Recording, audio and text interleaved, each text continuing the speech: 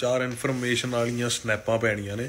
ਪਹਿਲੀ ਇਨਫੋਰਮੇਸ਼ਨ ਤਾਂ ਇਹ ਹੈ ਕਿ 2 ਜੂਨ ਨੂੰ ਅਸੀਂ ਆ ਰਹੇ ਹਾਂ ਟੋਰਾਂਟੋ ਜੀਟੀਏ ਦੇ ਵਿੱਚ ਬ੍ਰੈਮਲੀ ਸਟੇਸ਼ਨ ਖੜ ਜਾਓ ਯਾਰ ਸੌਰੀ ਇੱਕ ਮਿੰਟ।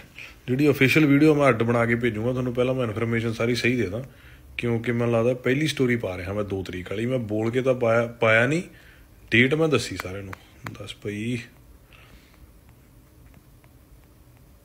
ਹਾਂਜੀ। Hello GTA this is Parmesh Sharma mark your uh, calendars because I'll be hitting the stage at Bharat Ke Swad Festival the great Indian food festival happening on the June 1st and the 2nd Bramley Go Station ਦੀ ਥਾਂ ਤੇ ਹੈ ਜੀ ਇਹ ਤੇ this event is done by Trimurti Events Vikas Sharma and Manisha Manocha I'll see you guys on the 2nd of June so 2nd June ਨੂੰ ਮਿਲ ਰਹੇ ਹਾਂ ਤੁਹਾਨੂੰ ਆਪਾਂ ਟੋਰਾਂਟੋ ਦੇ ਵਿੱਚ ਤੇ ਵਿਨੀਪੈਗ ਅਸੀਂ ਆ ਰਹੇ ਹਾਂ 29 ਜੂਨ ਨੂੰ ਹਾਂ ਸਿਡਨੀ ਆ ਰਹੇ ਹਾਂ 5 ਜੁ- ਜੁਲਾਈ ਨੂੰ ਤੇ ਮੈਲਬਨ ਆ ਰਹੇ ਹਾਂ 6 ਜੁਲਾਈ ਨੂੰ। ਹਾਲੇ ਬਸ ਇਹੀ ਡੇਟਾਂ ਨੇ, ਆਸਟ੍ਰੇਲੀਆ, ਕੈਨੇਡਾ ਦੀਆਂ ਤੇ ਹੋਰ ਕੋਈ ਅਫੀਸ਼ੀਅਲ ਡੇਟ ਹੈ ਨਹੀਂ।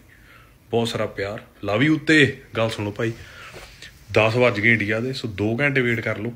2 ਘੰਟੇ ਆਪਣਾ ਨਵਾਂ ਗਾਣਾ ਆ ਰਿਹਾ, ਖੇਤੀ। ਖੇਤੀ ਉਹੀ ਹੈ ਜਿਹੜਾ ਪਹਿਲਾਂ ਲਾਡੀ ਨੇ ਰਿਲੀਜ਼ ਕੀਤਾ ਸੀ ਸ਼ਰੀਕੇ ਬਾਜੀ ਬਹੁਤ ਪੈ ਗਈ ਗਾਣਾ ਪਹਿਲਾਂ ਮੈਂ ਡੱਬ ਕੀਤਾ ਸੀ। ਪਰ ਲਾਡੀ ਨੇ ਕਰ ਲਿਆ। ਫਿਰ ਮੈਂ ਇੱਕ ਦਿਨ ਡੰਮੀ ਸੁਣੀ ਮੈਂ ਯਾਰ ਗਾਣਾ ਤਾਂ ਬਹੁਤ ਵਧੀਆ। ਸੋ ਮੈਂ ਵੀ ਕਰਤਾ।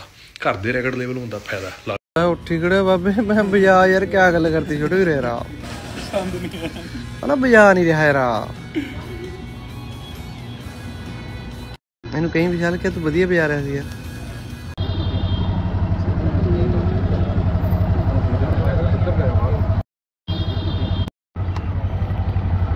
ਇਹ ਤੇਰਾ ਸਰ ਕੇ ਅੰਜਣੀ? ਹੱਥ ਕੀ ਬਾਤ ਹੈ ਬੜੇ ਸੋਹਣੇ ਲੱਗ ਰਹੇ ਹੈ? ਤੇਰੀ ਮੇਰੀ ਜੜੀ ਏ ਨੀ ਬਾਹਰੋਂ ਛੋਟ ਆ। ਲੱਗੂ ਟਿਚ ਵਟਣਾ ਦੀ ਜੋੜੀ ਘੁਮਾ ਕੇ ਲੈ